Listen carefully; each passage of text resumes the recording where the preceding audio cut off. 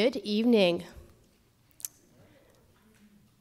My name is Lamia, and a few days ago, I put the address of Isabel Theater into my phone to find out how to get here tonight. I'm sure many of you did the same. The next steps, you'd know, you'd figure out whether you'd walk here, you'd bike, you'd take the TTC, or you'd Uber. It's unreal that this navigation exercise looked so different just a few years ago. We've come such a long way. But even in the digital age, there's still information that remains inaccessible. So while I didn't grow up in Africa, tonight I'm going to talk about my experience as a second generation Canadian and I will focus on one reoccurring theme the irony of unmet informational needs in a digital age and in a G7 country. And so, before I do that, I'm going to tell you a little bit more about myself. I came to Canada at the age of four, and my family originates from Yemen and Ethiopia. While the two countries are on different continents, they share a lot in common. For example, both countries are known for the generosity and hospitality of their people. Both countries have the world's best coffee, hands down. And both countries claim the Queen of Sheba. And so even though my family was by no means middle class, this should demonstrate that I nevertheless grew up rich. Rich in culture, rich in custom, and rich in perspective. And for the most part, this, rich, this richness lent very well to an upbringing in Ottawa, where I was surrounded by many people like me and whether they also came from the Middle East or Africa, or whether they came from the Caribbean or Eastern Europe, we, as a broader community of second generation Canadians, experienced a lot of confusion and adventures together. For example, we all knew where to buy the cheapest calling cards for our parents. While our summers did not include cottaging or camping, we still had so much fun at the nearest basketball court or at the near nearest community center. We all assumed we, were, we couldn't get allergies or we couldn't get sunburned. And while we never got to bring Lunchables to school,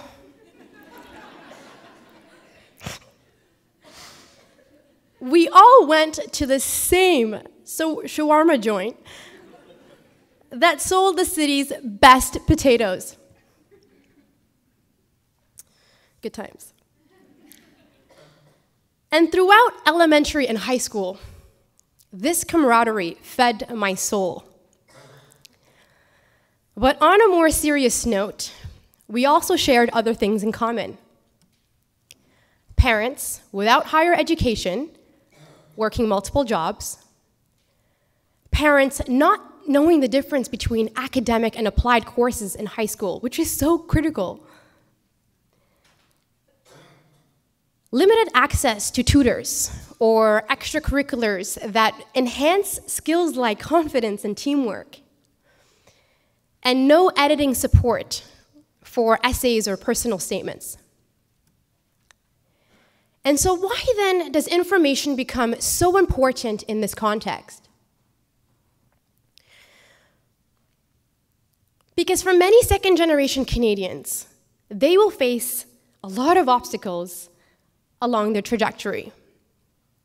And a lack of information should not be a compounding obstacle. Let's think about it differently. Society pays a premium for the advice we get from experts be it management consultants or lawyers. These experts are in the business of imparting know how. Let's not take for granted the power and weight underpinning familiarity with Canadian systems. It's a different kind of know how. It's intel. And for many second generation households, this intel is far from intuitive. Knowledge gaps become an added burden to realizing the Canadian dream, which at best can lead to frustration or feeling lost, and at worst, unfulfilled potential and a precarious existence.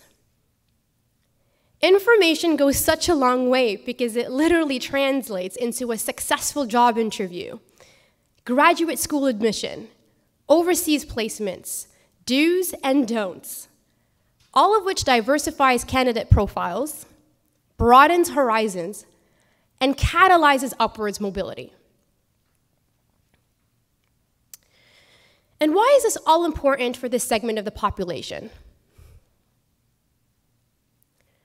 Because in an increasingly diverse country and globalized world, diversity brings a lot of significance to our society, socially and economically. In 2015, McKinsey & Company released a report titled Diversity Matters. It showed that companies with a higher degree of racial and gender diversity perform better, much better. And this is in terms of higher financial returns, enhanced strategic decision making, and improved customer orientation. Our cultural environment also tells us the importance of diversity. Shows like Master of None, Insecure, and individuals like Trevor Noah, not to mention figures like Barack Obama and Malala Yousafzai, clearly demonstrate the contribution of diversity in terms of perspective, impact, and influence. Canada is ethnically diverse. By 2031, 32% of Canada's population will belong to a visible minority group. That's over 12 million people. And this diversity is what makes Canada unique. But what will make Canada even more unique is if upwards mobility is accessible to all Canadians. I want to see more of my community in Canada's former labour market. I want to see my community in Canadian top 20, top 40 lists, and not just during the month of February.